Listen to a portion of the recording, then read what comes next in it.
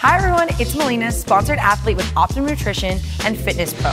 Welcome to week four of the 250K Transformation Challenge. This week's challenge is about food prep.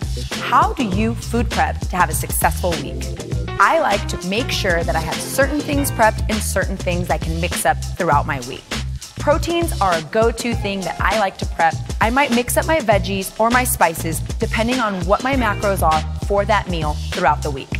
A lot of people say they don't have enough time to food prep and they use that as an excuse. Make sure you make the time, not find the time. We want to hear how you fight your food boredom. How do you mix things up with your food prep?